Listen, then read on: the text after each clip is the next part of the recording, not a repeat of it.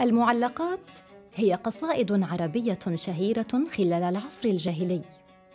سميت هكذا لأنها كانت تعلق على الكعبة تقديراً لأهميتها.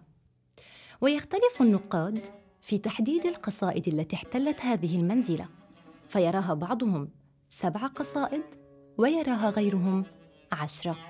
وطوالع المعلقات السبع هي قفا نبكي من ذكرى حبيب ومنزلي امرؤ القيس.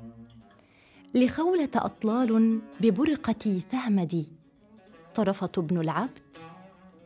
أمن أمي أوفى دمنة لم تكلمي زهير بن أبي سلمى. عفت الديار محلها فمقامها. لبيد بن ربيعة. هل غادر الشعراء من متردم؟